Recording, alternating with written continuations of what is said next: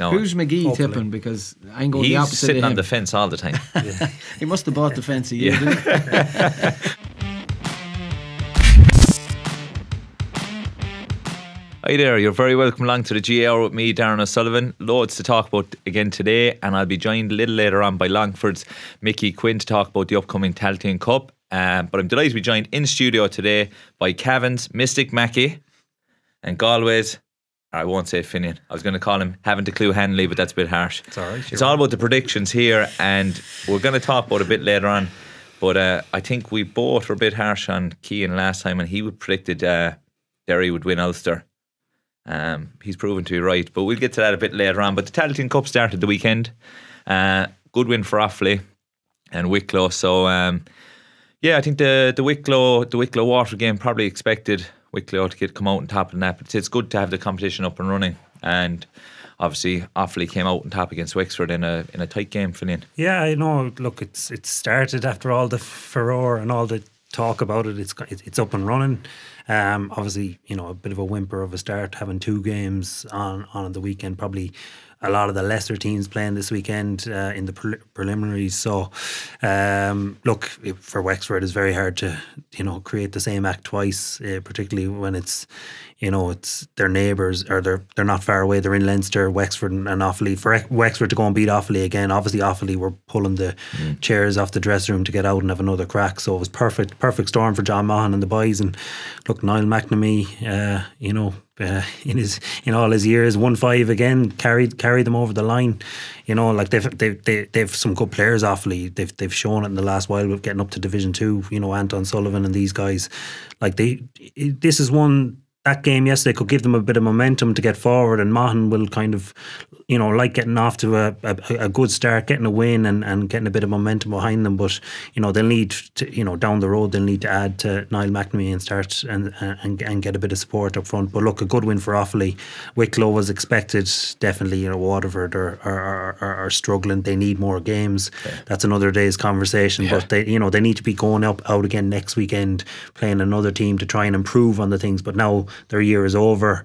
You know, they're not back until January next year. That's a whole other can of worms. But look, it's up and running. There's some good ties coming this weekend. So uh, interesting so far. Yeah, John Martin came out there, you know, it was a week or two ago. I seen he had an interview and he was almost throwing away the GPS and all the stats and all this stuff. And I was like, oh, that's my type of manager. No, you know, get rid of it, Cian. But uh, no, it should be a good game. Now, obviously, we have Wicklow and Offaly now this weekend, so it should be good. But it's disappointing.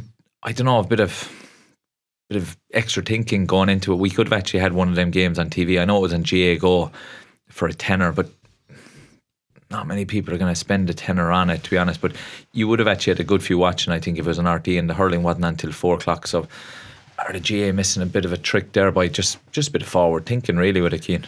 Yeah, look at the the big thing for them is they need to promote this Mm. Cup. Like uh, as you, you look at Offaly and Wexford, one point game, two point game, like Yeah. Three eleven to to two thirteen or something like that. Like that, that's an exciting game for Yeah. everyone. Do you know what I mean? Like quality mightn't be your Dublin Kerry, but like excitement is, is what people want to see. Like you know, and and that's what I believe the Tailteann Cup really brings is excitement, tight games. Do you know, like the like there's loads of class footballers that, that play for the so-called weaker counties, and they don't get the the airtime. So. It, it, it's up to GAA, uh, up to RTE, TG4. You know these these Yeah. companies really need to, to push this forward. And if it was pushed forward, it would start to be a real recognised competition. But unless they're doing that, like the likes of lads leaving squads, like we say the down squad lads leaving squads to go to America, you ca it's hard to argue with young lads doing that. You know, like you're not getting airtime. Like you're just playing. You might as well be playing challenge matches when they're not aired live on TV. Do you know what I mean? So Yeah. You have to get to a semi final of a Tailteann Cup to get on to, get onto television. So it's just it's, it's a long old year of slogging for for no real rewards. You know. Yeah, and Cavan, your own county now, I suppose, they've been tipped as red hot favourites. They're playing down. We had a bit of a chat and we're saying it's hard to know with down. Like we all know they've good footballers, but there's obviously a lot going wrong up there at the moment. But would there be a bit of excitement in Cavan just the fact that you're in a competition now that realistically, well, you're red hot favourites for by other counties and other pundits like us talking about it. Would there be a bit of excitement because there is that opportunity to get back to Croke Park, climb the steps of the Hogan stand again for these group of players? Yeah, look at when you when you're there and, and you're part of the group. Silverware is key. like Cavan are definitely good enough to be within the the, the SAM Mm. like half of, of the country. But at this moment in time, I wouldn't say there's excitement. You know, it's kind of like we should. The, the question is, we should be up mm. here and we're mm. here. But as the competition goes on and, and all going well, Cavan progress, and uh, if they get to a semi final, then next of all you start to say, yeah. Like we, we can go and win this, mm-hmm. and then everything starts to ramp up. Do you know the, the early starts of any competition sometimes takes a, a bit of time for the wheels to get Yeah. in motion. Same as like an Ulster Championship, a Munster Championship, it takes time. But like as it gets to me, we say the quarterfinals, semi-finals. That's when you see the Tailteann Cup, and everyone will start to to build on it. Then, and, and just at home and that, like people are kind of like still going off. We're tight to Donegal, but we're in the Tailteann Cup. Yeah. You know, and that's just kind of that's that's the reality of it, unfortunately. Well, that's the position they put themselves in, really. Do you know, a couple of bad league performances or maybe taking their eye off the ball and you could slip through the divisions and unfortunately having a good championship game every now and again isn't good enough. It's about being consistent all the way through. And I suppose Finian, we're going to have London and Sligo as well as like a Connacht championship clash as well. And I, it'd be a game I'd be looking forward to watching as well because, you know, they're tight enough over the league as well. Yeah, yeah, and I suppose going back to the point on, on, on winning margins, and Cian made the point about yesterday. You know, a kick of the ball between Offaly and Wexford. Um, you know, it was it, was- it was a tight game. I think there's only been four, five games out of twenty odd games that we've had to date that have had you know less winning margin than five points. I think the rest have all been six plus. You know, so any of these tight games we get that are you know come down Yeah. come down to the stretch, th- th- that's what we want. You know, that's that's that's the excitement. I think everyone was watching the soccer yesterday, and it was up and down and whatever. Do you know what I mean? So like like people need to take interest. I don't think a lot of people will care that Waterford are gone or or that Wexford are gone today. Do you know what I mean? And that's their season over. Bar the players who who train and know what it takes to for for those players, they they put in the same effort as everyone else, and now now they're gone as well. But that's an, that's another point. But I think you know as many as many games that we can get that are tight. I think Sligo and London to the point is is is is is, is juicy enough tie. I think London will have, have have put it in and would have been you know looking forward to the Tailteann Cup you know over over the last couple of months. Um, Sligo obviously you know, their second year in, in, in this kind of project, they would have been looking at the Connacht Championship a bit more. So it's an interesting game um, to see how Sligo kind of bounce back from from the trimming they got off Roscommon. Um, uh, I, and look, obviously, you know, London lost to Leitrim, but it was a narrow game as well. So, so London are off a kind of a more positive experience than Sligo are. So it's it's it's it's yeah, certainly an interesting game. That should be should be a tight one as well, which is what we want to see. And I'm looking forward to actually talking to Mickey Quinn a bit later about it because obviously I always find it a bit strange me talking about it because I'm there going, look, I was playing with Kerry, we were always competing for Sam, and sometimes it might come across as what does he actually know about it. But it'd be interesting to talk to Mickey about it because obviously Longford, um, they have a tough game against Fermanagh, but he has a couple of league titles, won 2011 and 12. But this is another opportunity maybe for silverware maybe not this year, next year, you know, because you are playing teams of your own level. So it'd be interesting to see a fellow who's actually preparing for this competition, how he how he's preparing for it, how the squad are preparing for it. So it'd be interesting to get an intake into that. And look, I think the semi final is going to be on RTÉ and the rest of them you can stream on GAA Go. And look, we've talked about it before about the image rights and the TV rights and stuff like that. They need to get this put into it. Like, and look, we won't harp on about it again all the time, but if we can get the format right, I think there's just a format at the moment that's wrong. Yeah. But on a Waterford point of view, look, they're gone from the hurling, they're gone from the football. There's no reason they can't be starting all their championships, club championships in Hmm. the next two weeks. And these players might get a good winter. Do you know? They might get a winter where they're not slogging around the muck in the gutter. Yeah, Like, yeah. what's what's wrong with players actually getting a couple of months off to Yeah, the, the, the problem Christmas? is there though. You know, you, you start the championship early, and then an inter-county manager comes in and goes, "Oh, we've two months extra now here," and they'll wheel lads Big back time, in too yeah. early. Yeah. You know, Yeah. that, that's that's the killer for them boys. yeah, now. your first meetings in September. and yeah, going, oh, you know, and, and it's great. Like they'll play club football and club hurling in, in great weather, but as for a winter off from any of my uh, no memories, thing, there's yeah. there's no. Mm. They, like it's a new manager comes in and goes, "Oh, we've two months extra here to get fitter and faster and all this." And Yeah. it, it it doesn't happen, It- it'd- unfortunately. It'd, be an interesting experiment though to talk to what like a lot of like a lot of people won't care about Waterford today, Waterford football particularly, you know. Um, but it'd be an interesting experience to see how many training sessions they did, how many gym sessions they did. They played nine games. Um, you know, what's the plan for the future? What's going on in a, in a county like Waterford? You know what I mean? And get some insight into it and, and, and kind of bring it to the bring it to the public's attention of this is actually what's happening or whatever. Do you know what I mean? Because there's going to be loads of debates. Is the Tailteann Cup the answer to this? I don't know. The provincials are certainly not the answer. There have been a disaster this year. Um, Disaster, but yeah. but you know, for the likes of Cavan, and I know you were on about Cavan and being close to Donegal, but like you know, Derry went to Division Four. They have to come back. Cavan should want to win the Tailteann Cup this year. Get up to Division Two then next year. You know, I know it's another year, but when they get there, then they have to re- realise that steps. it can never happen again. Cavan can never get to Division Four again because they're down playing Tailteann Cup and they'll they'll have had a taste of it. They probably or they have a good chance of winning it.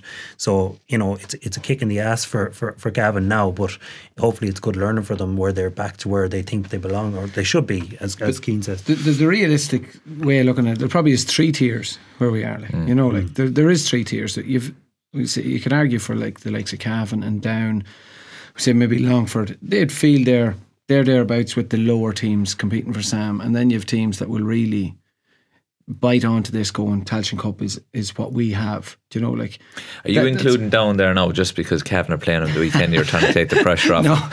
No, pressure pressure's higher now because Down seem to be downplaying the whole lot. So Yeah. Cavan are expected to win. So it's actually going to be a lot more difficult than than, than previous years because usually Cavan play Down. You'd be there going Down should win this game, like. And now at the minute, Cavan are favourites, so that kind of puts more pressure on Cavan. But like, the, there is potentially three tiers there, but we're getting to two tiers, and there's teams that don't really care about it. You know, straight away off the bat, there's teams that aren't caring about. There's lads leaving a down panel, like there's lads probably leaving other panels that you don't hear about. Mm. Do you know that kind of way? So it's it's hard to. It's not a, it's not going to be a quick fix. There's definitely not a quick fix to where we are at the minute, but I, I definitely I, I'm a believer of the Tailteann Cup, but only if it gets the right press, the right push forward. And at the minute, like it was str- over Twitter, don't know who put it up, like how bad it was organised. Like it's within two weeks, it was like this was a new format, and you're kind of Yeah. like, what's going on here? You know, like it, it just like, there's probably lads getting paid a lot of money to to really throw their arse at it. You know, Yeah. that that's kind of what's been done, and it's not showing respect to any players that are involved in the Tailteann Yeah, Cup, but- and, and that's that's very frustrating. Like if I was playing in it and it was kind of like, what's what's the format? Like you, you lose to Donegal and then you're thinking, what's the format? Where are we going forward? And then next of all, it's kind of like, well, we don't really know because they haven't told us. You'd be like, what the like, what's going on here? You know. Yeah. So it, it's just showing no respect. Like Sam is Sam, you know exactly what's going forward. Tailteann Cup, they're just really just kind of going, oh, we'll wing it.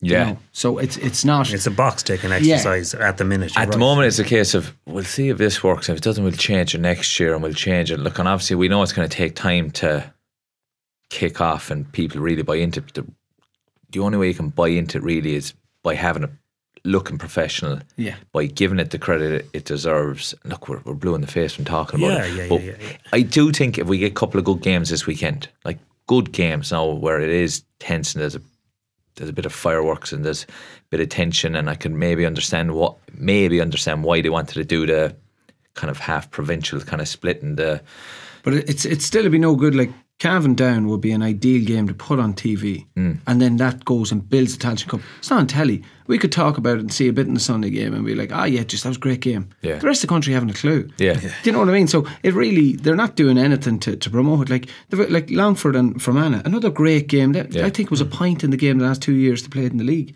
Like the two good game, good tight games. Play have one this weekend and then another next weekend.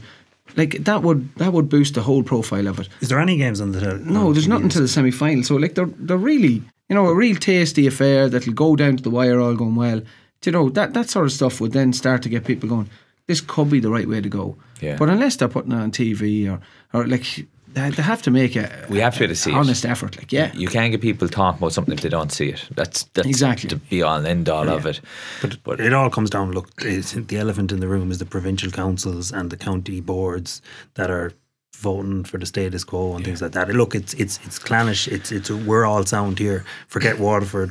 I don't really give a crap about Waterford. You've an awful set in Waterford. I know you're no, but, but no, I, was, I, I, I have a positive set. Like I'd love to, I'd love to, Yeah. I'd love to spend a couple of days down there and see what their actually ambition is Yeah. in the county and how the who's going to help them, and who's helping them, or what's the story. Because it's just cut them off. Sure, they're grand, they're gone, they're Yeah, sound. exactly. Most of the problem you know, is that but Donegal and Galway are all, competitive have, you know, you know, we're fine because we can Yeah. do, we know what we're at, and we'll vote for this, that, and the other. Like Yeah. it's anyhow. Look, it, we we'll be. We'll give you a separate show about Waterford. We get him an Airbnb in Waterford next weekend. Dungarvan for the summer. I think we'll do the Greenway. but um, look, you mentioned there the provincials. They've more or less been a disaster. Um, but they're on this week. Um, we were all fortunate enough we played in some provincial finals. What was your feelings the week of a provincial final? Was it nerves? Was it excitement? I'll go to you first, Finn. You'd have you'd have had mixed. Yeah, yeah. Um, I suppose, yeah. Look, I, I made my debut in a in a Connacht final against Mayo, and it was um, I was actually working. I, I, I, I was knocking around the panel in 2004, and then I broke my hand. Came back. We won the All Ireland under 21. Didn't get picked to play New York. Didn't get in the. I wasn't in the panel against New York. wasn't in the panel against Leitrim. I was actually working in the bar in the clubhouse, and I was out to watch the second half or whatever, back in or whatever. And we were playing Leitrim. The following day, I got a phone call. You're in the panel, and then I was starting three weeks later in the front. It's fair. Um, uh, I remember, yeah, it was it was it was it was thirty degrees and.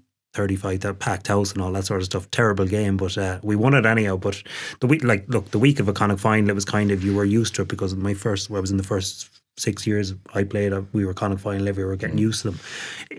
You know the- particularly against Mayo there was good buzz around. A lot of Mayo people you were kind of trying to stay away from the club because there'd be a lot of Mayo people in the club and things like that. But uh, it, it was a big game. Look, it, it was the be all and end all because there wasn't many All Irelands in either Mayo or Galway. You know, it was kind of you know it was a huge game to, mm. to get to a Connacht final and, and and Roscommon as well and Sligo were good at the time. So it was different when you're playing Mayo. You were a bit more kind of carefree because you know there was opposition. There was a lot more pressure when you were playing a Sligo because The expectation. the expectation was high and things like that. So you just try and kind of put yourself, stay away from the house, stay away from the old fella.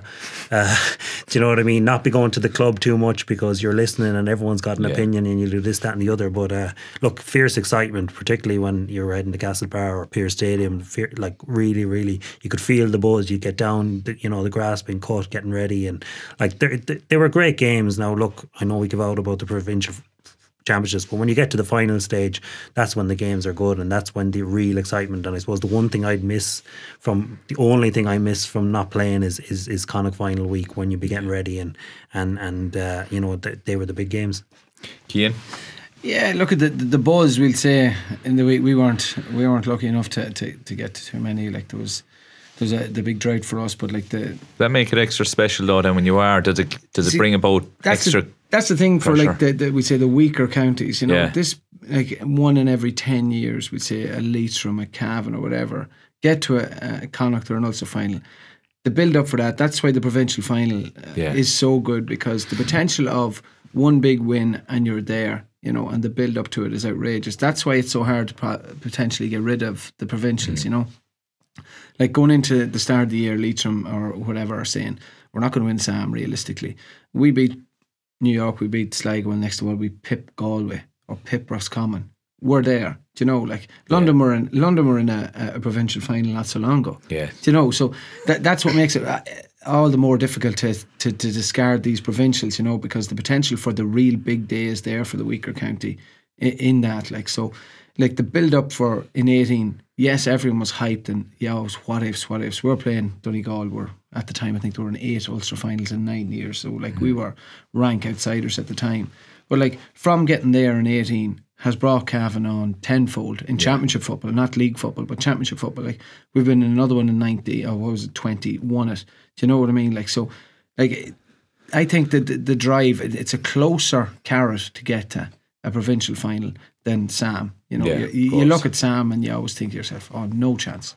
You know, like in your head, you're kind of this positive thought we spoke about a couple of weeks ago, but the doubters is still there.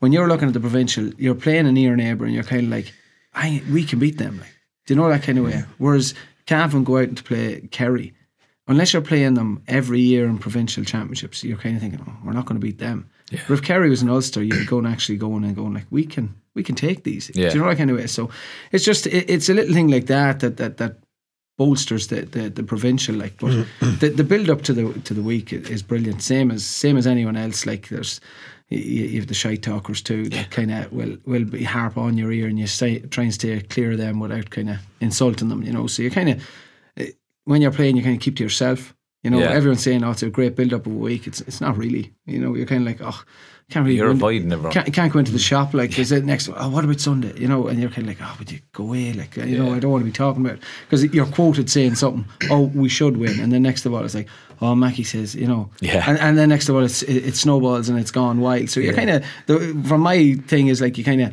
you, you turn into a recluse you know you're Yeah. kind of like oh someone going to town for me I'm not going to town I'm not talking to anyone you know because that that's kind of the way it is because it, it's so easy to stuff to snowball you know But like- it's it's funny, like um, when you talk about some of these big days are so rare, you actually don't enjoy them.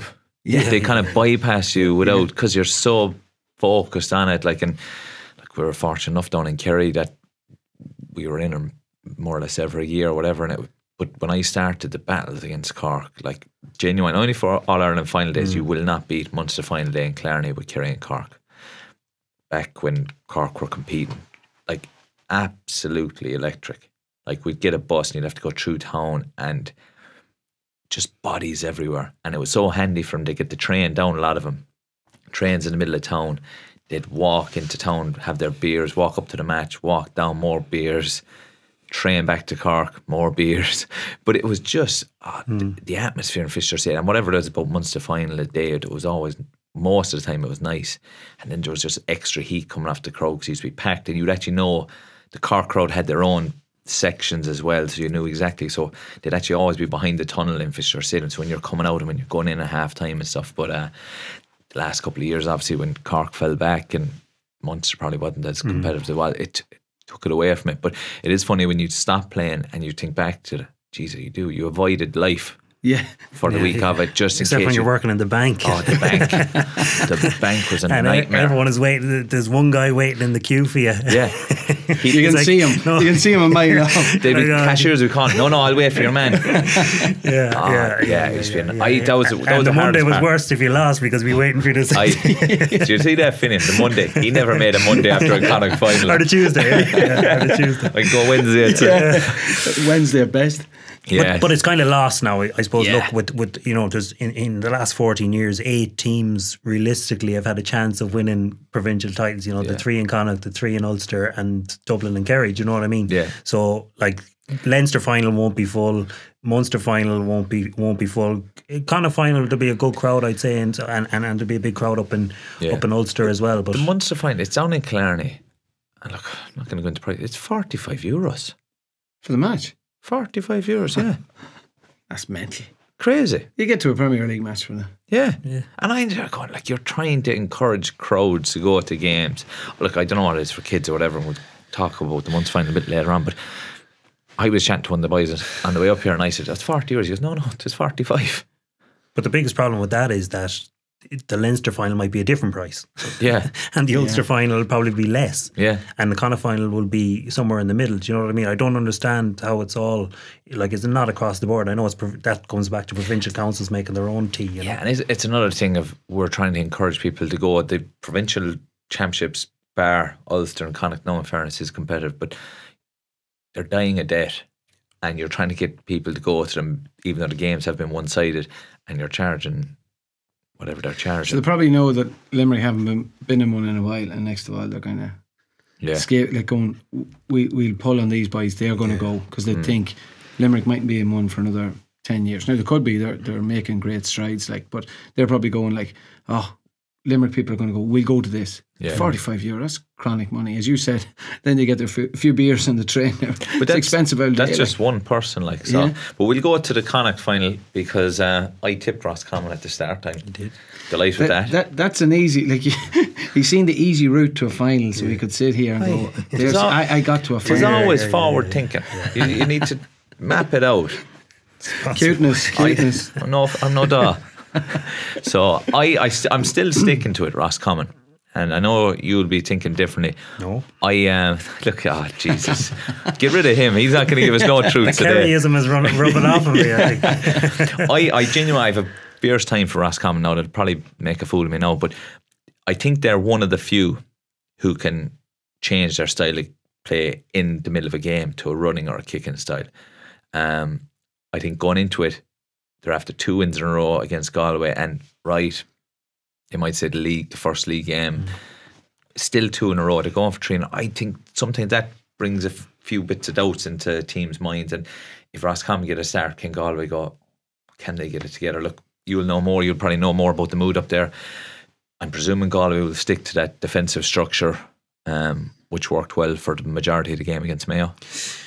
Yeah, do you know what? It's a it's it's a massive it's a massive Connacht final. Uh, I'm actually going to blow it up, uh, giving out about the provincials, but this is a huge game for both counties, a massive game because I think if the winner kind of gets ahead in the in the pecking order, I think if Roscommon win, that puts them ahead of Galway. You know, you know, next year you're looking at Mayo, Roscommon, Galway. You know, it puts it, it puts Galway back, and it really puts Roscommon in in, in the frame. It's um so so look, it's it's it's a massive game. Obviously, there's going to be a backlash from Galway. There's going to be uh, you know.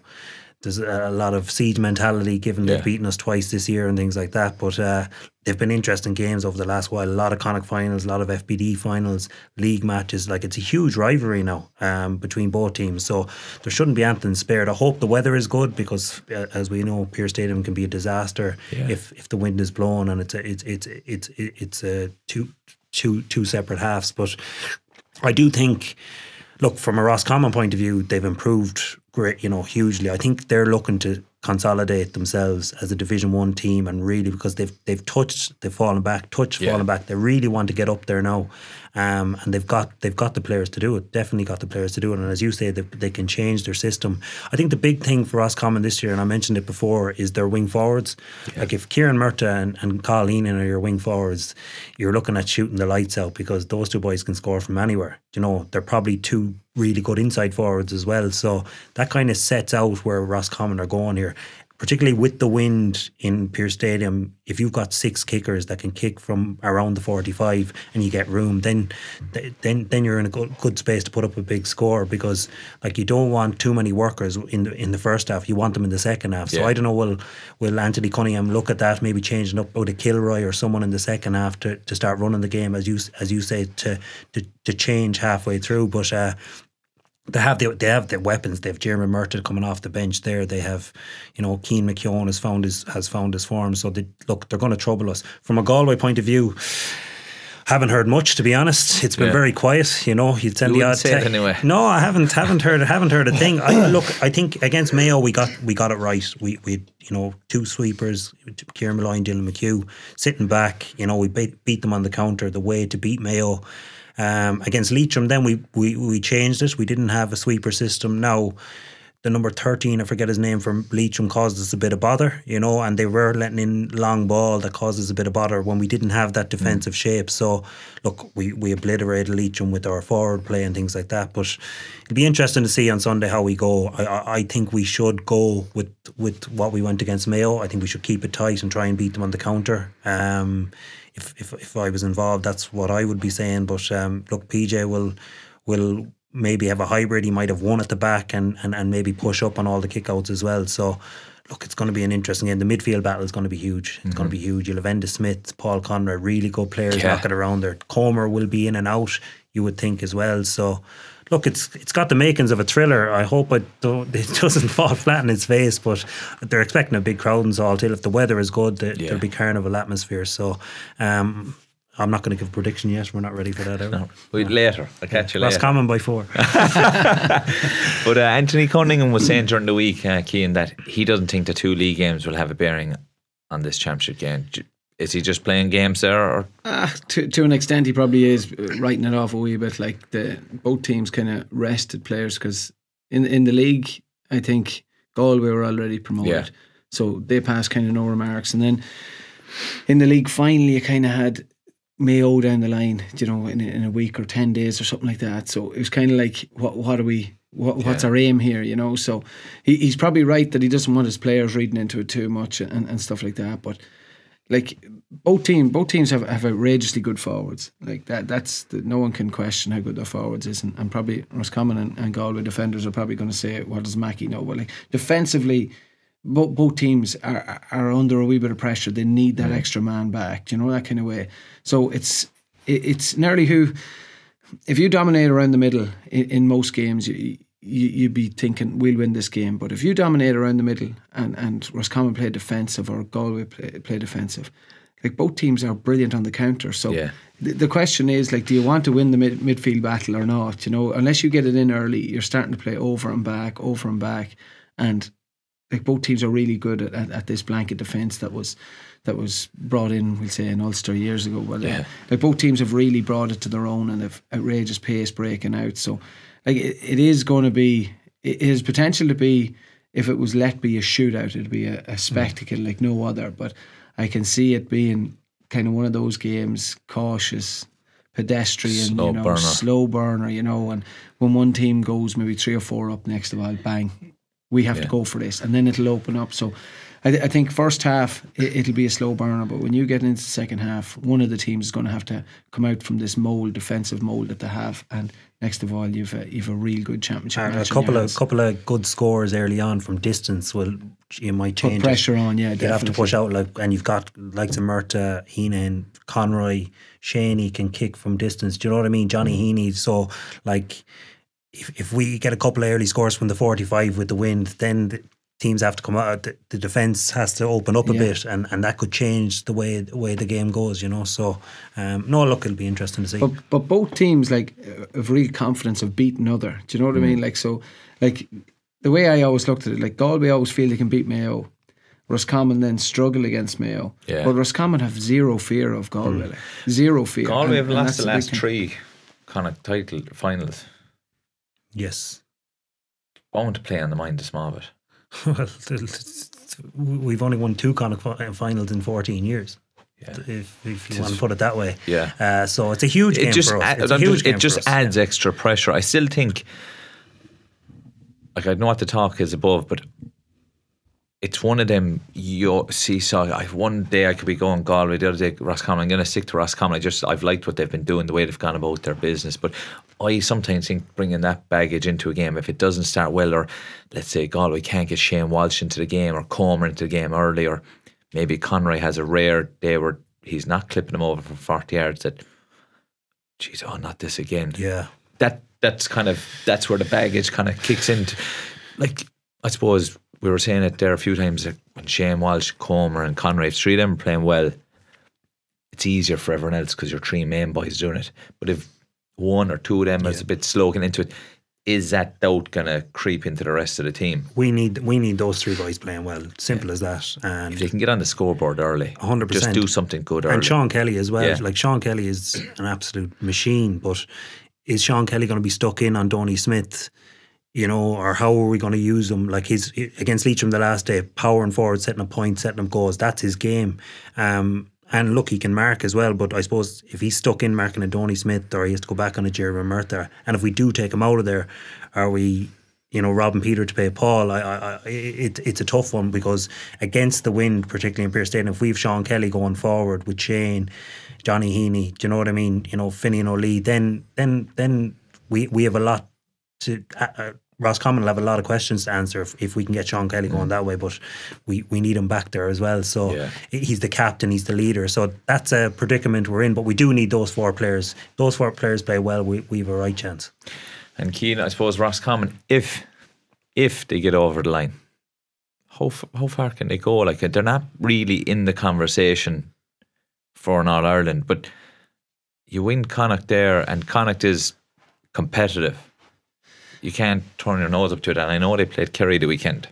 Yeah, look at Roscommon. Nearly it affects them more going into Croke Park than than probably other counties. You know, and Roscommon can beat anyone in any provincial stadium around the country. It just seems like Croke Park causes them serious issues. Um, and the way they play, you'd think it'd suit them. Loads of space for their forwards, but it just comes back to defensively. And like you spoke about Kerry over the last two years, defensively is where they get let down. And when you're in Croke Park, if your defence isn't up to it, you will get mm-hmm. absolutely handed a beating. That's why Mayo are so good when it comes to Croke Park. Man for man, pound for pound, they can actually pick lads up one on one. That's why Mayo can actually come to their milk in Croke Park. Where other teams then, this blanket, this extra cover, like it, it doesn't work. So unless they can sort out the, the issues, and Galway the exact same, unless the issues can be sorted out defensively for both of these teams, they, they will struggle to kick on and, and win Sam because like Dublin come to their milk in Croke Park because they have loads of space and they have pace and power and defence. You know, so Yeah. defensively, like it's it's it's a great spot for a forward in Croke Park when you've pace and power. But defensively, I'm sure it's a, it's a long old day. You'd know better than any either of us. But like it's a long old day in Croke Park with, with 30 yards in front of you, and you're kind of like, where are we going here? Yeah. Do you know? So unless Yeah. you're unless you're good defensively, to, to get out of to get out of Croke Park with a win, you're under severe pressure. And and some of the biggest teams and best teams in the country have found that. Do you know, like Tyrone go up there and they just they're they're so defensive mindset's perfect. The better Kerry team that was tipped to comfortably winning on Ireland. yeah, you know, yeah. so But it's another one it's there. Like one. you can go into Croke Park and play defensive, but unless it's a system that you know like the back of your hand, Yeah, Yeah. you might as well not. It takes a lot of work. it, a lot of work, a lot of understanding. If it's a big game, there's a big crowd, you don't hear anyone anyway. But it's very, it's very difficult. Like your your energy levels to be sapped trying to play defensive. Like unless you can man on man just beat your man.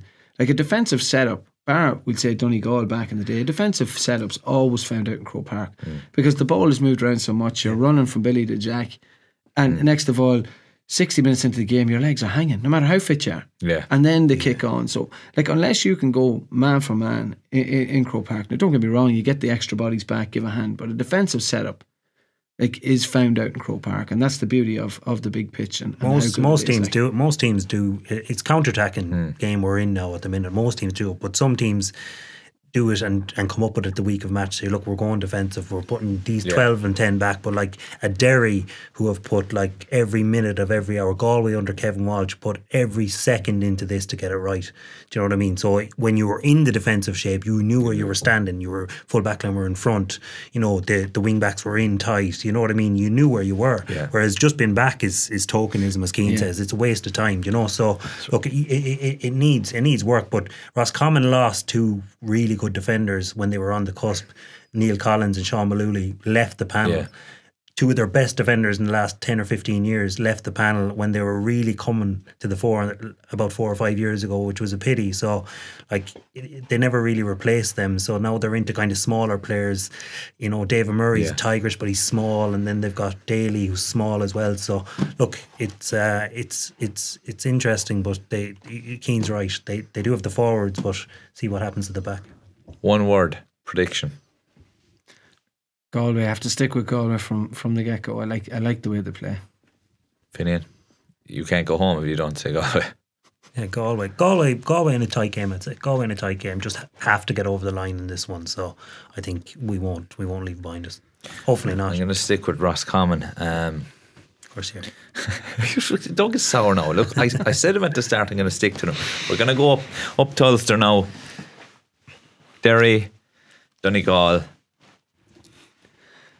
It's Like it's it's going to be brilliant. it's be going to be it, probably because of the backroom team as well. Like you say, like Gallagher there, he, he knows Donegal inside out, and from the start, I, I liked the way Donny, uh, Derry were going about their business. But when I watched Monaghan against Derry, Monaghan tried to beat Derry at Derry's game, you know, and when they actually slowed their attack down and, and were patient, they got a lot of scores, marks, frees.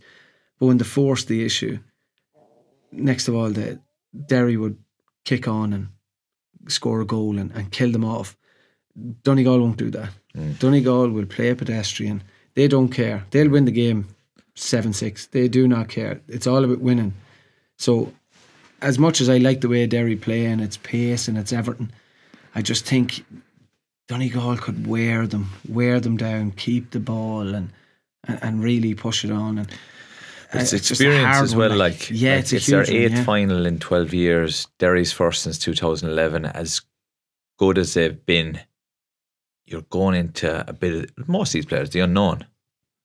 And right, they have momentum going in, but that pressure, that build up we talked about sometimes it's out of your control, avoiding people. Hmm. Um, it's going to be interesting because they have played this free spirited style. And it's going to be tense, it's going to be tight, the atmosphere is going It'll be interesting how they cope with the pressure. Yeah, it will, and I suppose Donegal are going to have to somewhat mirror Derry. Like they're not going to leave themselves. I suppose what Kerry did in fourteen against Donegal, you know, a little mirror them a little bit, kind of brought bodies behind the ball. So I think Donegal are going to do the same, and they're going to break a pace. So I hope it's not two rocks colliding in a, as you say, in a in a 10-9 uh, situation, which will really because then you'll have teams all over the country trying to start this crack again or whatever. But uh, like Donegal or Derry bring everyone behind the ball. Everyone. There's 15 inside the 45. They're tackling, and then they're the pace they move at McKinless, and they've got Heron up front, McGuigan up front.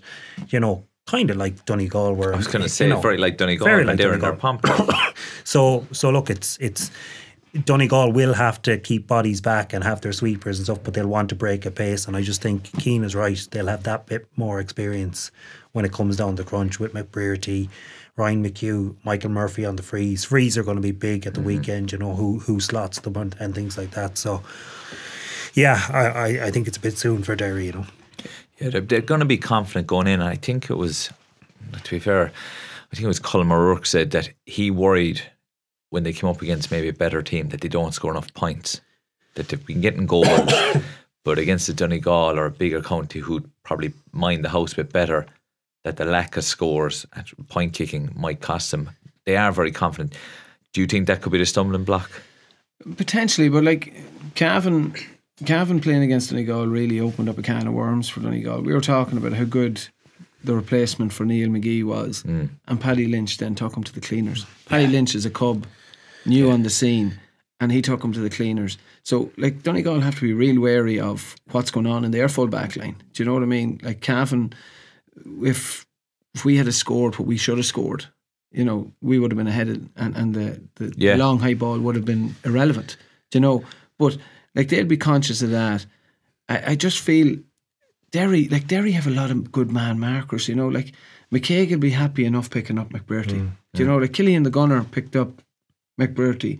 McBrearty was kind of a, a fringe player for most of that game. he does that a lot. He is a fringe player for a lot of games, but he comes away at 1 2 in 10 minutes. Well, that that's very true. But I just I just think Derry, man for man, they will be they'll be happy enough picking up the majority of the Donegal forwards.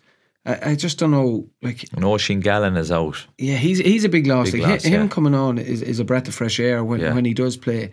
I, it's a it's a middle third is the big thing. Like you know, like Hugh McFadden, he He's could do it back. He could do a dog in session on on Conor Glass, Yeah. and then Conor Glass could be out of the game.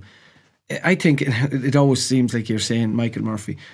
I think this is the biggest game for Michael Murphy in a lot of years because I don't think they have anyone that can actually pick him up. Now Rogers will try and run him up and down the field, mm-hmm. but Murphy is so physically strong. I think the Derry have players that can pick up most of the Donegal boys. I just don't think they have a man that can actually physically do what Murphy does. Like Murphy can win the ball and spin and kick it from 40 yards. He can go inside, he can go out the field. I think that's a big thing for Gallagher. He needs to find out how he's going to pick up Michael Murphy. Mm. It- whether he brings out Rogers and picks him up. But Rogers is one of the best players at driving out of Yeah. So do you lose that to stop Murphy? Or, you know, that like Gallagher's a, I a think lot of do. thinking to do. Like, I think you sacrifice something to stop Michael Murphy. Yeah. Because you keep him quiet, you stop his influence on the Yeah. game. But it, it's the more you actually think about this game, the harder it is to call. yeah. Do you know? Because you're you'll be going down different routes, and if they do this, but if they do that, I keep getting brought back to this. It'll be a nine all, 10 9, 10, and then it could end up being an absolute cricket score if both teams said, you know what, I'm going to hmm. concentrate on my own game, our own game here, and play the way we are. But so much is point me in the direction of Donegal. They have all the experience. They've been here. Players have done it. But they should have been beaten by Cavan. Yeah. Do you know they've been they haven't performed. You're you're always thinking there's there's more in them. There's more in them. There's maybe there isn't. Do you know that kind of way? we yeah, keep saying there's more in them. There's only so many times you can say it without going. Maybe there isn't more in them. Do you know? And maybe the fact that Derry haven't been here will actually be a blessing. There's no pressure on them. Go out, play the game. They're on momentum. They have confidence. They're buzzing under the energy.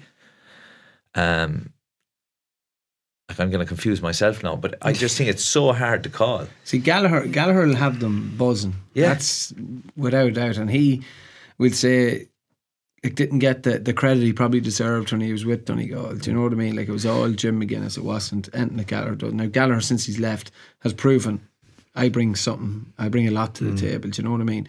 So he will bring hunger. He'll want to prove everyone wrong. But then on the flip side, could he overthink it? Could he, Yeah. you know, it, that that's that, that's the thing. But I think it's a massive. There's not too often you could say this game is going to be won or lost on the line. I think the matchups and stuff like that is massive, Yeah. and and how the style of play they play. Like if Donegal look at how Monaghan went to try and beat Derry, like they have to be looking at going a slow, methodical attack is better Yeah. than a breakout. You were saying like Donegal are going to try and break out. They have bundles of pace, but like then you're going turnover after turnover after Yeah. turnover. Yeah, keep Derry, the. Derry don't like playing that way. I'm going like to get they you. want to, to go. I'm going to get you to call it now. Finian. Go Oh for yeah, it. I'm, I'm going with Donegal. Yeah, well, look, the history kind of says over the last twelve or thirteen years that you know Donegal will get the job will get the job done. They'll know how. Uh, I think they do need just on the point of the team a couple of tweaks. Like I, you know, if I were the management team up there, I'd be looking at a Paul Brennan or someone mm. that can sit back in front, maybe starting him and maybe putting Morgan to centre forward on McKinless. Because Morgan can go forward, but he can he can also defend as well. So, a bit of a hybrid there. Might he might be better on McKinless than, than O'Donnell. But if they if they make the slight changes, they mirror Don- Derry slightly. I think they have more more firepower up front. I think Don- Don- Donegal will win it. Yeah. I, I want Derry to win it just for a, a change up. Yeah. you know. Definitely, yeah, oh, I- and, Yeah. and and to prove myself right. But but I, I just think like it's a massive like if Donegal lose this game, you have to be looking at the line and going, you have made bad decisions here. Mm. Like the manager has to be the fall guy here because like you've seen what Derry bring. They bring this energy and everything, and you've seen how Monaghan played against them. Like I, I'd be if I was a Monaghan player supporter, I'd be very frustrated with management going like we shouldn't have played the game this way. So if if Donegal, if the management get it right, Donegal should win this game. But if they get it wrong and try and go toe to toe with Derry's energy, Derry win the game. So look at I'm I'm banking on a bit of uh, common sense in, in in the Donegal dressing room to know right we we take this Yeah. right right down to a dull drab affair. Not that I want a dull drab affair, but to win a game, Yeah. I do. that's it. what it's about. It's about winning it. So uh, if if Donegal do it right, they, they take the energy, just sap the energy out of Derry, Yeah. and then just play it at, at, at, at their place. So I, I'm going to go Donegal. Unfortunately, yeah, I think While, just while we were chatting, I was like, going, do you know what? No, there isn't more in Donegal. I'm going to go with Derry. And then by the time we finished, I was like, no, I'm going to go with Donegal. uh, yeah, I just think the know how. and I do think they they have that experience that if they need to spoil the game, they can do that. So, look, the three of us look like fools probably next week now. who's Mackey Hopefully. tipping because I'm going the He's opposite sitting of on the fence all the time. he must have bought the fence a year. Yeah. no room for me on it. Uh, It so- needs a dairy window. though. Provincials. Oh, need it. definitely. Look, it would be It'd be great, great. and it would be look, it'd be incredible, and the buzz that they'd have, like they'd be dangerous in Croke Park. Oh, pace and But- power, yeah. Just sometimes the experience in Donegal are good at like that. They can spoil and Yeah. change their style as well. And look, we won't spend long on the Munster. I look, it, I think it's great for Limerick, the progress, and whatever. We talked about the price, forty-five euros, absolute joke. But I expect Kerry to win this by fifteen points plus, and that's just, just there's a difference in class. Yeah, look at.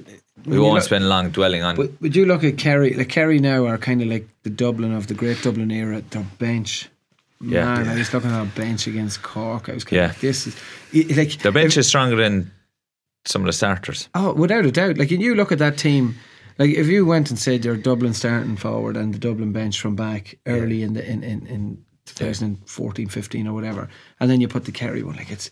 It, it's frightening. It's very It's absolutely frightening. Like it's it's it's crazy. Yeah, the problem for the problem in the Kerry camp is the couple of lads who didn't play well the last Mm. day. Now this is a problem for Limerick and the rest. Like Tony Brosnan possibly played himself out of the picture. Yeah, Uh, now, obviously, there's Kerry from an outsider looking in. You know, he he missed a couple of chances. Gainey came on, like they're fighting for the position, and there's Killian Spillane, and you know there's that happening as well. So there's a lot of round. I'd say the AVBs are, are unreal down there. Um, but but you're right. Look, a team coming up from Division Three playing this this Kerry team, Kerry should absolutely annihilate them. Um, unfortunately, but that's just the nature. Yeah, of so the beast. three of us are in agreement there. Kerry comfortably, but it did look. It's good for Munster that Limerick are on the way back, but this Kerry team do look very strong at the moment. They look tuned in. I don't think they'll be caught. I actually think Leinster's going to be the same. I think Dublin incredibly comfortably, Yeah. The, Dublin, and I know Kildare did all right this year. I think their celebrations in Newbridge is going to be a big. It's going to bite them. yeah, like uh, Dublin, Dublin are a different animal when they get to Croke Park because, like as I said earlier, man for man they can pick lads up because they've recovery pace. You know, like in a big hmm. pitch, it's recovery pace, and you can get your tackles in. Even if a forward sells you, he can get back to you. Like Mick Fitzsimons, when if you sell him in Newbridge, you have a shot. You sell him, you have ten yards to go Yeah. to get your shot. Mick Fitzsimons makes that ten yards. Yeah, yeah. Do you know? So that's where Dublin come to their milk. Yeah. You know, and and like we everyone wrote them off. They got relegated from Division One. Like Con O'Callaghan back is worth three players. You've Con O'Callaghan in there next to all. You cannot go man for man. Then you have to have someone sitting in front of him. That frees up, would say James McCarthy. Do you know, like James McCarthy running, that means Dean Rock's on the loop. That He's a brings Rolls Dean Royce. Rock yeah, but that brings Dean Rock back to where Dean is good. Like, do you know, like Dean's not a ball winner like Yeah. a Comer Second or whatever. ball. He's Yeah. the second ball and he's a finisher. So like one player back for Dublin changes hmm. the whole dynamic of Yeah, their team. yeah, it's it's and like it's mad to say like even Clifford doesn't have that influence in Kerry. Or, or McShane in Tyrone, like the or Murphy even in, in Donegal. Con O'Callaghan, how he brings that Dublin team is outrageous. Yeah. It's totally different than oh, it just turns the whole thing around. and it changes the bench as well. Oh, massively. Because now you have Scully on the bench to come in, an all star. You've got Davy Byrne to come in. Their bench is a little bit stronger now than we. Well, everyone spoke about. There was no f- names, but with James McCarthy back, Con O'Callaghan back, those two now are on the bench, and it makes you know they've three or Bolsters it four up, yeah. up. Yeah. I just see, look, Kildare have forwards to cause Dublin problems. I just think defensively, unless they go very defensive at the start, I can see Dublin going for goals straight away. I think if a goal goes in and a second one goes in, I just think the heads drop and say, oh, this again. That mental baggage of carrying all the past defeats, I think Dublin by 10. And I could, that'll probably come back to bite me. I just, mm. I just think defensively, Kildare don't, don't have it. Yeah, like Du- Dublin, like the, the chances they had in in Newbridge that day, like I think Yeah, Dean Rock just- had a chance to tip it in, and I think the keeper got a hand in and just slapped it in his hand just really off the boil. I just off think the boil. Yeah, they're back to doing basics really well. They look focused, and I have heard of people who know lads playing that they were really cranky about Newbridge getting Yeah. beaten. They o- the over celebrations they They had a massive it. training camp, and, and I'd Yeah, say all I just- bets were off over there. Like, was- like that, even people like us now talking about them, and like we talked about poking the bear. It's going to hurt. These are proud players, and they're going to go. out and They're going to look to make a make an impact. But we all in agreement. Dublin. Anyone going for Oh, Kildare? No, I think so, Dublin, yeah, Dublin, Dublin. Dublin, Dublin, Dublin. Well, Kildare have looked great strides, and they'll be dangerous in the back door. They yeah. will be. oh no, they, no one will want. they are. No one will I just think. Dublin are in a in a bit of a mood that they were not going to be caught. Yeah, Yeah. like Hyland, Flynn could play well. He could clean a Dublin Yeah. back, but the rest of the Dublin backs could take Hyland, McCormack. They could take them out. Like Yeah. you know, Johnny Cooper could just eliminate someone there and and, and, and be done with them. you know, Yeah. and Murchan the same, and, and and nothing said about it. You know, lads who were going really well in the It'd be league given. You nearly could be just taken it. out. E- exactly. Yeah. But we're running out of time, but we had a qualifier draw this morning. Uh, threw up a couple of tasty ones. Armagh, Tyrone, Mayo, Monaghan, Clare, Meath, and Cork and Leitrim. Or Cork and Louth, sorry. She's out there. They're Tailteann Cup and the and the Sam Maguire. But uh, the first two games, especially Armagh and Tyrone in the Gaelic grounds. Fireworks. Yeah, it's great. It's great. Uh, I was delighted. Now look, they're all a bit kind of. Uh, it's it's funny how they they were all pulled out together or whatever. But Yeah. look, it's it's great. Tyrone Were you saying it was probably a fix? Are you allowed to? Only joking. Are you allowed to? Uh, it, it, it feels Going all red now, there. Uh, it feels like it. It feels like it. Um, look, it's it's great. Tyrone Armagh, that's the game you want. That's Yeah. in the Gaelic grounds as well. All Ireland champions. That'll be a full house. Oh, they might even consider. I know someone was saying they might even consider bringing it to Croke Park or something like that. I don't know. I hope they don't. They, same as that. Same as that. I think you need to leave it in the grounds they're in. Fill those. Fill those. Have people wanting tickets and not getting them. Not Bring everyone deserves back. a ticket. No, no. Bring Simple it, as that. Bring, Not everyone can go. bring that back. And But I you, think you'd be fair to play. in, Like now, everyone wants to play in Croke Park, but Tyrone have played in Croke Park any amount of times. Yeah. But if you're playing in a stadium that is absolutely wall to wall sound, it is. There's nothing better. Yeah. Like you can all talk about like uh, like big massive crowds in Croke Park, but Tyrone Armagh. Like it's not going to bring it full crowd. There's not a chance Croke unless Park you double header it with Mayo. Croke Park isn't full anymore until it's All Ireland final day, or unless you get a Kerry Dublin Sheeran. at the semi final. Ed Sheeran, yeah. But that's Yeah, yeah, that's yeah. it. But look at like- Nolan Park yesterday. Nolan Park's a class stadium for matches. I don't know why they don't play enough more Yeah. football matches there. They have a lovely stand behind the goal. It's really compact. Everyone is in on the pitch. Like that match yesterday, everyone was stuck in on top. Mm. Yeah. They were all mixed in. It looked like really good crack or whatever. And I think the Gaelic grounds will be the same because Oh, the yeah. terrace is so close behind the goal. Like there could be a few, like it could be a few slaps, a few rows, a bit of crack. But like that's what Not you want. You know? encouraging it. No, It's- but it's like frowned upon, but you love it. but you'd have a pint after, like, do you know what I mean? And the crack will be good. But look, I'm go- I, I, if we were looking for predictions, I think there's a absolute kick in Tyrone here. I think they're gonna. They're. I think they're three or four points going to be better than Armagh.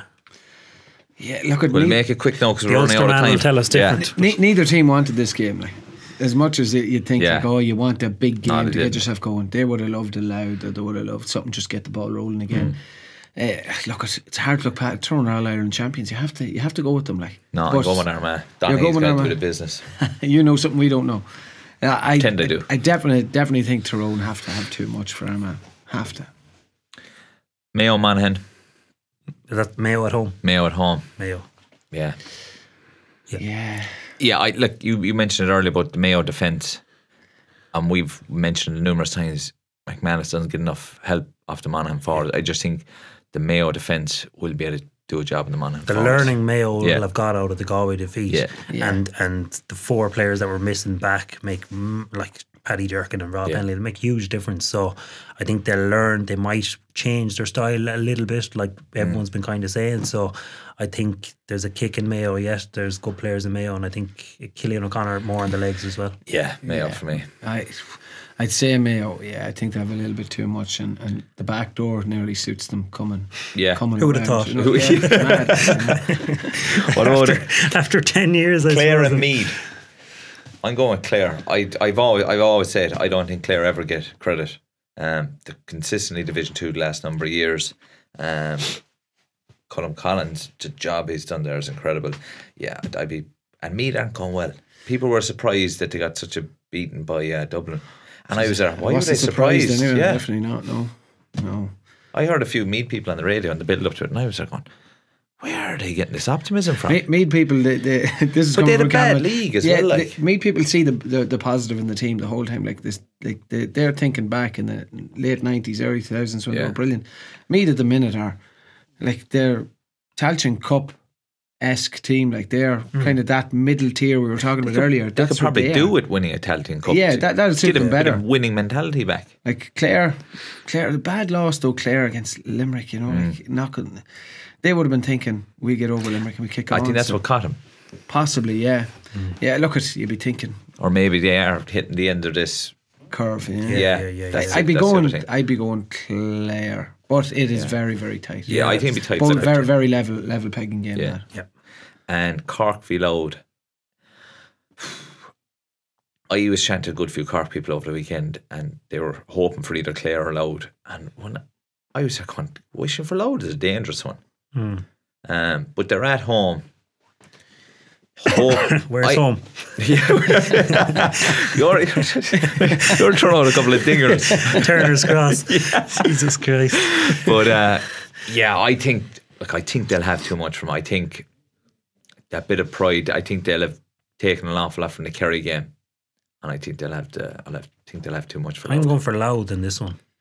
I think experience the Mickey Harte factor. Mm. I know we've spoken about it before. They've had a great year. And the worrying thing about Louth this year was losing to a team in Leinster after yeah. the year they've had, getting well bet by Kildare and then getting well bet in the qualifiers. So I think this is a lovely carrot for Louth that they didn't get one of the big teams yeah. and they can finish their year in style. If they if they win this, this shows huge progress Massive, in. Yeah. I think you know they've got good forwards, good enough forwards to trouble Cork, oh, and do. a system. Mickey Harte will have the system in place. Like I just think if they can win this, um, I think they can win it. I think they they it's in Cork, but sure, look, Cork are where they are, and uh, there's nothing between the teams at the minute. No.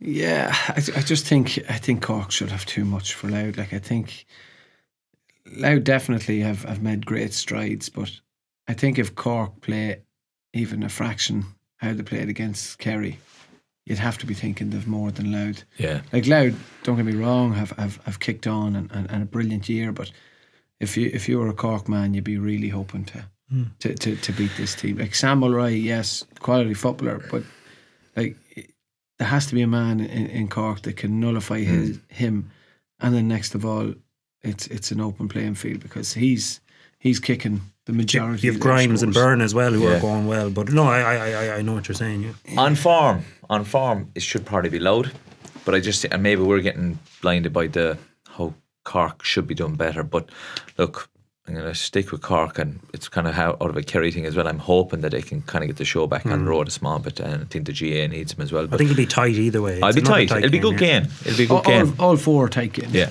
Uh, unfortunately, that's all we have time for with G lads. So thanks very much for joining me, and I'm delighted to be joined on the line by Longford's Mickey Quinn. Hi, Mickey. How are things? Good, yeah, all good. Thanks, Darran. Yeah, on, on the wind down now, um, and wind wind up as well. Fingers crossed. Champo week, so um, yeah, nice time of year. Um, when you when you're playing ball, and hopefully the weather picks up. Yeah, we could do with a bit of weather. Before we go into the game, I just want to congratulate you. 100 appearances there recently for Longford. Uh, must have been a big moment for you, the club, I suppose, and your own family. Yeah, look, it was one of those things that it actually came about from just uh, trying to tot it up myself and, mm. and see in the past, geez, how how many games have I played and how long have I been about? Because uh, I remember looking back at um, Aidan O'Shea when I think he hit 130 or something or 150, and I was like same age, and I was just looking to see what was the difference in maybe your your top counties and counties further down the line uh, in regard to playing games with yeah. your county. So um, it was just interesting to see the bit of a gap um, when you want to play games um, at that level, league and championship. So, um, but yeah, it's nice, uh, nice token, and uh, one of those that that is nice to have, and it's something that probably every county you'd you'd love to see them doing, having uh, having probably chalking down everyone's games and see see who's been around the most and played. Looking at Paul Barden, Dermot mm. Brady, these guys that have been around for a long time um, for, for Longford, and you'd love to see what they have uh, I think Paul or Dermot, and he was saying that he could have been 17 years playing. So I think he's well past the 100, maybe 200. But it's it is a it is a nice gesture, and like that, it is something that should be celebrated. You know, when fellas hit certain milestones, um, that there is a bit of a token there. Because I remember when I saw it, I, I started thinking, how many games have I played for Kerry? I couldn't, I, I, I didn't look too much into, it, but it is something that should be celebrated as well. And you mentioned it there about you're playing it to play games, league and championship, and obviously the Tailteann Cup now um, this weekend. And how how were your feelings about the Tailteann Cup as a whole when there was talks of this competition coming in? Yeah, look, what I've probably been for it from from the beginning. Like I, I probably in one sense looking at it with a ahead for myself that you know from my own game i think definitely like i always wanted to you want to play against the best, but you kind of when you do get that opportunity to play against the best, you want to be in a position that you can compete. And I think there needs to be probably ways of developing and improving from year to year, and and probably long term. Um, and that's something that look at playing your Dublins or your Kerrys or your top teams that on a on any given day, this kind of thing that you might put it up to them, but or even put it up for 20 minutes or half hour, 40, whatever it is, but there's not as much development opportunities in in games like that. Um, and I think from a holistic point of view, need to be looking three to five year plans, especially for for the likes of Longford. That okay, there you have a Tailteann Cup, and albeit this year um, it's knockout, but next year I think the plan is uh, group stages to play more games, and then teams can develop and have a have a target or stepping stones to actually move up up through the ranks, whether it be in the league and then push through the Tailteann, have a couple of years, maybe one year good in Tailteann to push on maybe and get games in the qualifiers at Sam Maguire level. Um, but I think there's more opportunity for more teams to develop. Like I think the Super Eights when it came in, that just widened the gap in my opinion, um, from your top eight to everyone else. Um, and even in that, there was probably a top three or four in that Super Eights. Um, so I think the Tailteann Cup is an opportunity for for teams to try and develop um, long term, not from just year to year. And I think that's what's happening probably with ourselves. We go from year to year, just kind of turn up and go again and go yeah. again. And there's there's no development and improvement when when we're doing that. It has to be bigger picture. Yeah, it's a, like that was a brilliant answer because I was there for the last while, kind of going right. I want to get Mickey's uh, thoughts on the competition and. For the last few weeks, like on the show, we've been talking about the Tailteann Cup, and I'm actually excited about it as an outsider looking to watch more competitive games. And I was really keen to know your thoughts on initially and how to keep kicking it on and making this competition a real standout in the GAA calendar. And even the way you talked about it there, you're right. Like these games of playing, let's say if you're playing at Dublin, you might put up them for half an hour. They're not going to develop you, and it is. It's not a season on season. It has to be three and five year plans, and not looking for the quick fix. And like you said it there at the start, it is about games. You want to play as many games as possible. And I know when I was playing, the worst part of intercounty was the amount of training you did for so little games. And you'd be hoping if they can, the GAA can get this right, that there's no there's no end to what it could be in terms of having an All Ireland final weekend where you've the Tailteann Cup on a Saturday and the All Ireland on a Sunday and making a big a GAA festival of it, I suppose. Definitely. Um, like the thing is that there's there's county games the length and breadth of the country these past few weeks of um challenge games or whatever you want to call them yeah. um, behind closed doors and probably some of the greatest games that could be played and yeah. um, and but still it doesn't have the same same uh, effect that you know they are essentially challenge games or build up games for the for a championship but you know well everyone's trying to play each other and there's a big scramble then a couple of weeks ago north and south and do you want to play someone in the challenge that you could meet um, in the Tailteann Cup and then Connacht versus Ulster and you could meet them in a qualifier this kind of thing that everyone's doing it and, looking for these games. Whereas, you know, if if there's a, a, a, fixture or structure in place there to try and help that. But again, as much as um, we kind of say the the structure of the Tailteann Cup or or whatever, like the ownership, a lot comes back to to the counties that there's things in place there for that development. That you know, some counties have really good structures and things in place to to be competing at that level and it's it's only another wheel um, or cog cog in the machine yeah. to try and get get Longford to improve or, or other Tailteann Cup teams. Like I know we're physically probably we've a lot of young guys and and the SNC side of things is something that's probably well behind other counties and probably the next six six months to two years is an area that we really need to improve on going forward. But like there's lots of little areas that that can be improved. But you'd hope with um, with this this championship draw or second tier championship that there's opportunities for improvement and development in counties.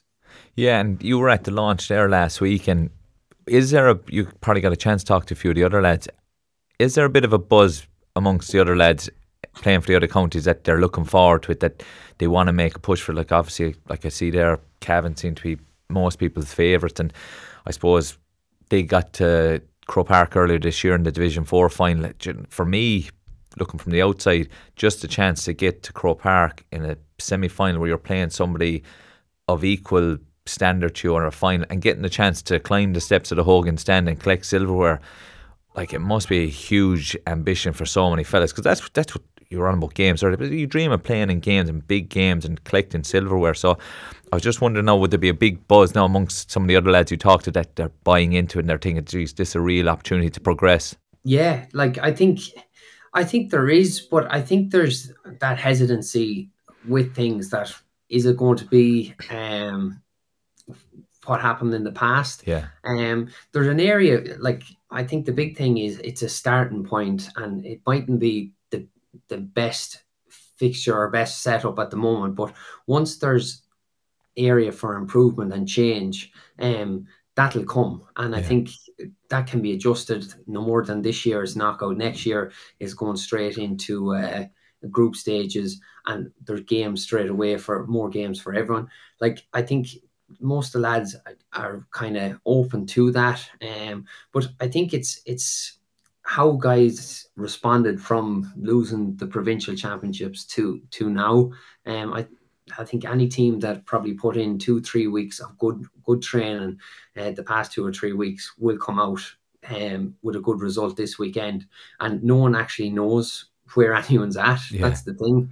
Um, whether it be losing your provincial or getting a clip in, in your provincial game or doing well in a challenge match, like I don't think anyone knows where where other teams are at until game day. Um, yeah. And you're looking at league form, and league form is out the window at this stage because it's been so long ago, and a lot has changed with maybe guys leaving panels or you know form dipping or injuries. So, um, like I think that's the exciting part of things. Um, and it's probably a shame too that look at the semi-final stages where games are going to be televised. But even the Wexford Offaly one on GAA Go, it's mm. it's great that there are games and there are platforms there that games can be on. It mightn't be available for everyone, or people mightn't. It's not on RTÉ or, or your main channels, but if there's opportunities there for games to be watched, whether it be on YouTube Live or whatever, that people want to see games. And as you said, people want to see tight games like Wexford Offaly tight game at the weekend. We had finished. Um, you know, everyone wants to would love to see a five minute highlight package on that game. Niall McNamee hitting one five. Five, yeah. Um, you know, like they're they're the kind of games that you want to see. No one wants to see kind of dead rubbers where mm. 30, 20 minutes to go that, you know, there's seven, eight points in it and it's just kind of see out the game. So look, there's there will be areas for improvement from from every aspect, but I think it's a start and a means to to go on for for the likes of Longford and other counties. Yeah, I think the main thing as well is that they actually listen to the to the counties that are playing and the players that are, are playing and want to be playing in it because there are ways to continuously grow the competition and make it more appealing for let's say some of the counties that aren't buying into it. There's always ways to do it. I think if they open their ears and they actually listen to fellas and you know what they want, they want games and you know you want the rewards of getting to Croke Park and playing in the big games and then an all stars at the end of it or you know something like that. Like for me, like the opportunities are endless and it takes away from just being about your four and five teams at the end of the year all the time. And but I suppose from your own point of view, we were chatting about it off off off off camera. Like you're you have a young family now. Have you found the commitment levels um, changing much over a couple of years? And I suppose having the Tailteann Cup now and another chance of silverware does it make it easier all the sacrificing we were talking about the, the ice bats and the chiropractors and the physios and the whoop the the recovery yeah look at everything kind of changes um, and you get perspective on things a lot more. I suppose for me, I probably was lucky enough to Australia probably gave me that perspective on things that you know my reason for playing has always been family and, and what it gives to the family and, and the people that are close to you um and probably with uh, little daughter there it, it heightens that even more um and to to play a game in Croke Park and, and have family there and that is something that probably it, it's on the bucket list and um, before before I'm finished that to play a game in Croke Park uh, in a Longford jersey that that's something that I really want to do um, but in regards to yeah time commitment and everything look we've probably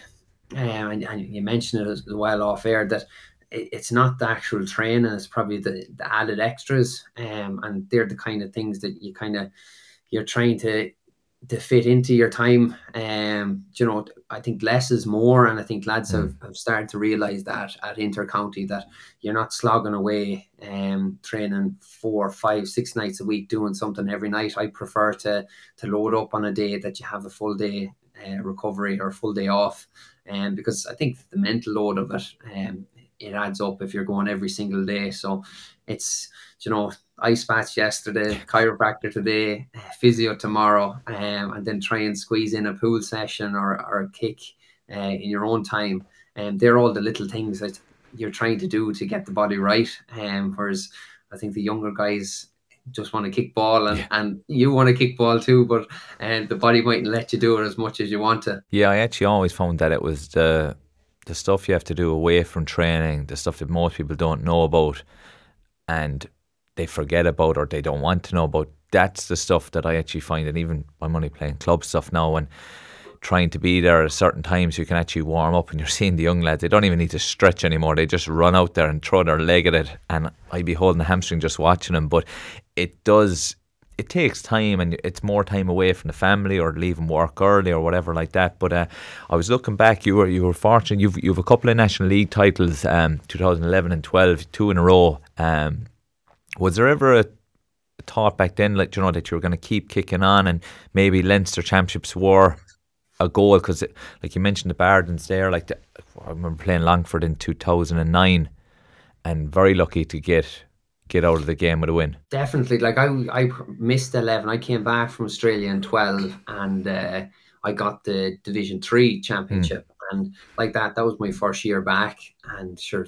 Everton, you expect this is normal now, mm. winning Division Three, um, and you're pushing on in Division Two then the following year. But I think that's where where probably I find that your your second tier teams battle to back it up the following year and the year after and stay at that level that like realistically you're you're talking a, a, three or four year cycle and keeping those players about for that length of time i think we've struggled probably in the past where guys commit for a year and gone for a year and mm. back in or maybe two years and gone and and they're the kind of things that a squad, if you can't get everyone to buy in for three plus years, then it's very hard to to make those progressions. And I suppose then if you're looking at the extended panel, that those other guys can benefit from that too. And I think that's where where it's been difficult to have those carrots um, for us to develop. Like we got up to Division Two, and um,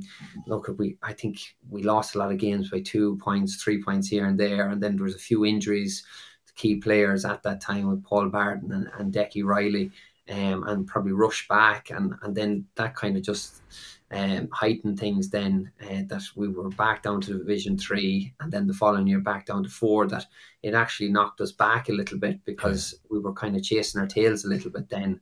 Um, so it can be a bit of a, a, roller coaster too. That I think we went up from Division Three that year, um, and I think Roscommon and Cavan actually stayed there. Um, and then the following year we went back down. They went up and they stayed in Division One and Two um, for the following few years after that.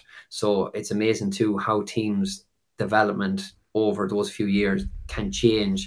Um, you know, we were on a downward trajectory and they were on the up and stayed up. So yeah. um they're kind of all the added little things, you know, players, um SNC set up, just a lot of probably stuff in the background that kind of needed to be tidied up to get get guys committing for longer periods rather than just a couple of years here and there. Yeah, and like I suppose you touched on at the start of the show, like the Tailteann Cup, it's not a, a one season. It has to be a three year plan, a five year plan, and look, hopefully now that there is good buy-in and like obviously you be a big name in the GAA.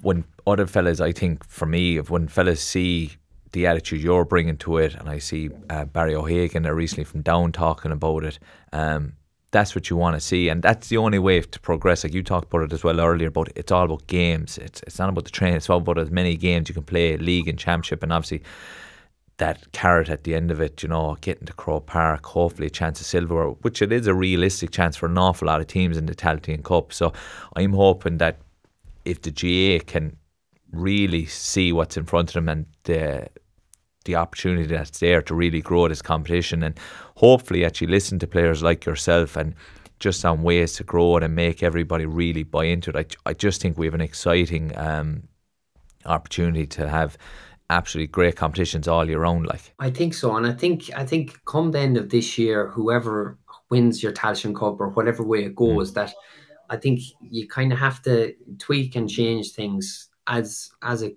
progresses to try and to try and cater for and improve. Like at the end of the day, in my eyes, I'm looking at how can maybe close the gaps um, and improve football in in counties like Longford. Um, and and a competition like that, if it needs to be changed or, or adjusted to try and allow for that um, and allow more improvement rather than kind of the gap widening. And um, mm. you know, I think a, a, holiday for finalists as well as the the winners is something that on the further down the line is something yeah. that could could be looked at. Um, you know, whether it be an all stars or or not. I, I don't think players some players might buy into that a lot more. I think the big thing is that there's recognition and that it is a good standard and it is competitive, that it's not just a token competition. Um, and I, I think the GAA can be seen that it's not going to be that. And as, as we talked about, that it's not just a competition that's ran this year. And if it doesn't go well, then throw the ties yeah. out of the pram, let's scrap it and, and go a different direction, that it didn't work. That, you know, I think things like this, in order to see improvement, you probably have to have a minimum of three years. And then further down the line, it's five, seven, ten years before you can actually see that long term improvement. Like I'm looking at guys on a on a minor or an under 17 county team at the moment that that are in St. Mel's College that are they interested or is there a real you know do they want to play yeah. for for Longford and having something like that that okay you know there's a character there's an opportunity there to to play football at a high level and then maybe progress and move it on from the Tailteann Cup that if there is a good squad or good crop of young lads coming on that they're willing to. Whereas in the past I think it was very easy for guys to opt out um, and there's nothing wrong with with lads opting out yeah. if, if it's not for them. But I think if there's things in place to try and, and help and improve and and allow for that then I think there's more chance of guys wanting to wanting to be part of a county setup. Yeah and like that's what it's about. I think young lads they want to be watching fellas in their own county, fellas they see every day of the week walking down the street or teaching or whatever, competing in big games, going to Croke Park with the possibility of winning silverware. But I want to thank you for taking the time to join us today, Mickey, and best of luck the weekend. And I'm really hoping that uh, you can have a good run at it. And um, look, here's hoping it's a big competition now and uh, the GAA buy into it because. Like we've both saying, like the the possibilities are endless with this, and hopefully now um, hopefully now you can be kicking on and we might see you in Croke Park later on the year. Fingers crossed. Here's hoping. Thanks yeah. a for having me. Cheers, Mickey. Talk to you later, man.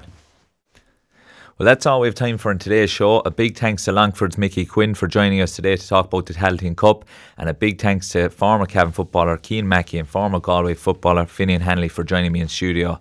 Uh, look forward to seeing you all next week where we'll have loads more action to talk about.